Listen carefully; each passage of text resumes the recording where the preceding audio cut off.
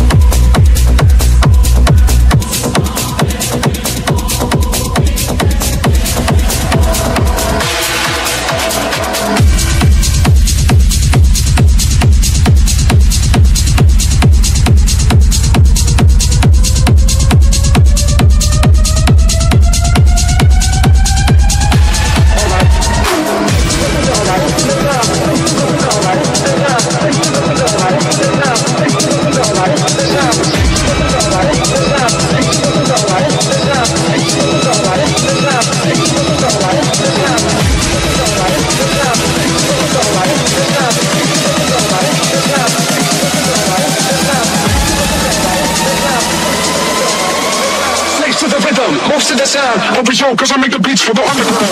'Cause I make the beats for the underground. 'Cause I make the beats for the underground. 'Cause I make the beats for the underground. 'Cause I make the beats for the underground. 'Cause I make the beats for the underground. 'Cause I make the beats for the underground. 'Cause I make the beats for the underground. 'Cause I make the beats for the underground.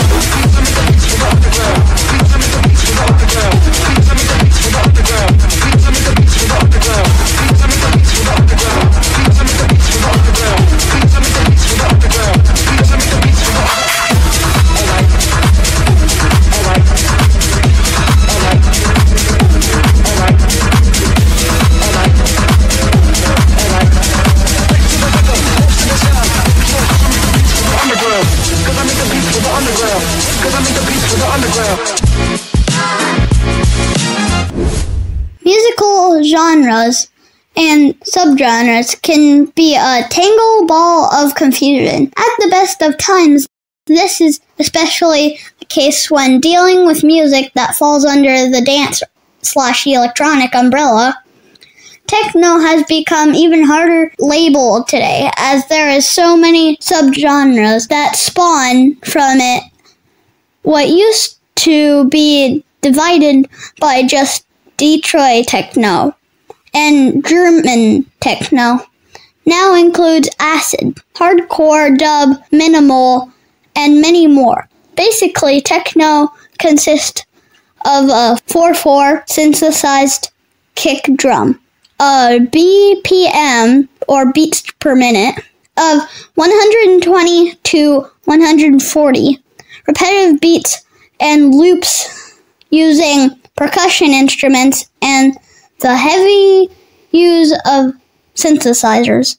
It's often seen as a darker version of dance music, but not everyone adheres to that rule. That said, it does rely on percussive sound a lot more.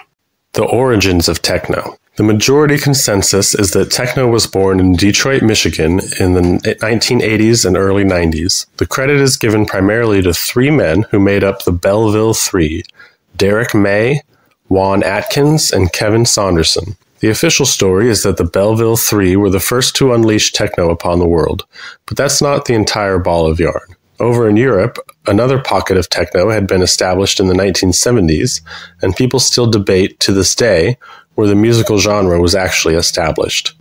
Early DJ culture in the 1970s. Before Detroit techno was just a sparkle in anyone's eye, funk bands and disco DJs were the backbone of the city's music scene. Disco became such a big business that some of the swankiest clubs around made sure that it was playing whenever the doors were open. By the late 1970s, disco and dance music were being mixed in clubs, and many could see the change that was coming. Disco gradually fell out of the mainstream popularity, but it would live on through hip hop, new wave, dance, dance punk, post disco, house, and various electronic dance music genres, and of course, techno. The Detroit scene.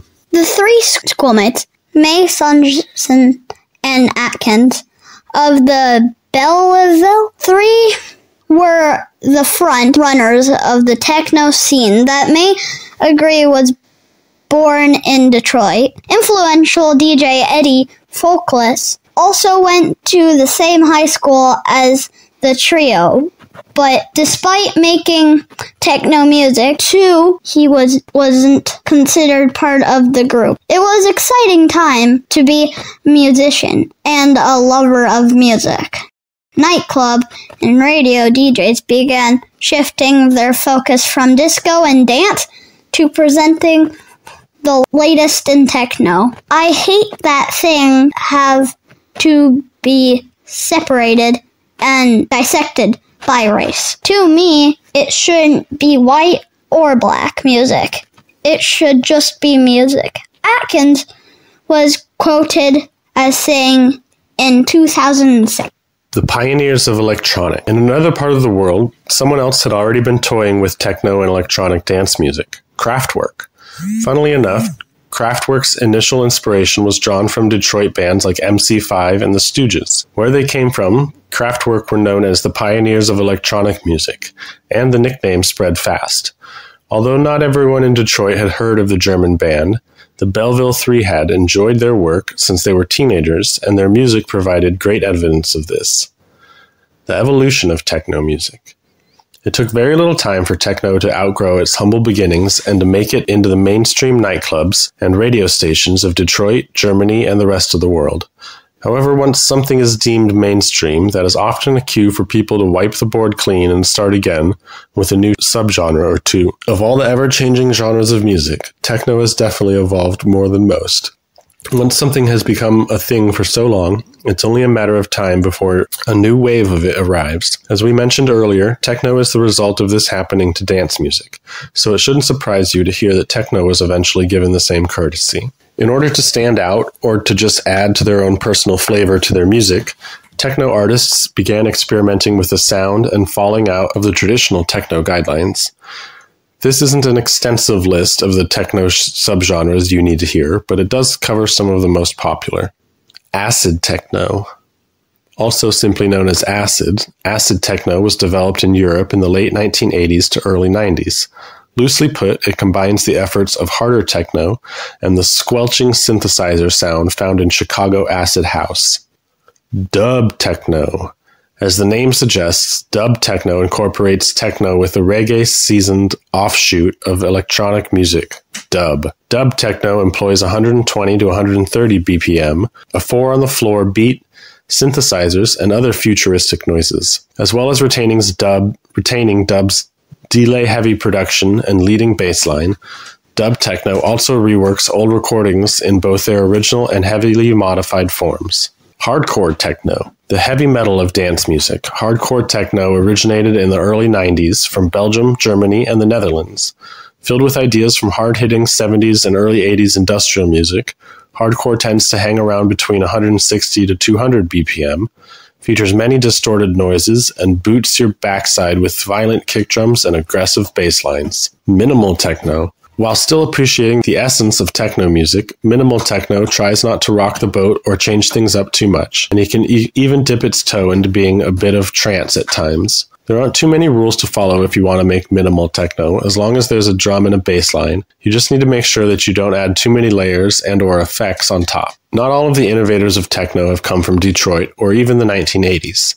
With each passing decade, techno and artists evolve and fresh faces took center stage to carry the sound onto the next generation. Here's a brief list of some of the most influential acts since techno's inception. Kraftwerk, the Belleville 3, Carl Cox, Daft Punk, and The Prodigy. Once the scenes in Detroit and Germany began picking up speed, techno got everywhere. As well as spreading across the US, interest in the music made its way across Europe and even converted many who were already neck deep in the dance music culture.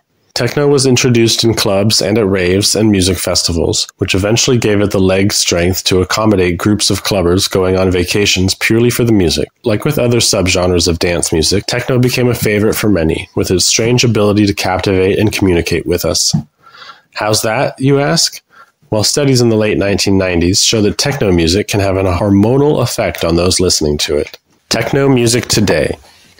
Because the gift that is the internet, both the amount of techno music written and where it can be heard has increased dramatically. Not only do today's musicians have access to more and cheaper methods of making sound, but they no longer need to rely on record labels operating within close proximity to them gigs, fans, film projects that need soundtracks, and even industry bigwigs from the other side of the globe were now within reach. Fast forwards 20 years to the connectivity. Social platforms offer mixed with the host of streaming sites online means it couldn't be easier to find or make something new and exciting. What did you learn? I learned that techno music is really old. Not. It's one of the newest genres of music. You think it's old? Yeah, because it's 1970s. That's, for me, that's a long time. Yeah, for me that's a long time too, but it's not that old. Goodbye, and see you next time, I guess. Probably. That's all from us on Destiny of Music for this episode, guys. See you next time. Thank you. Bye.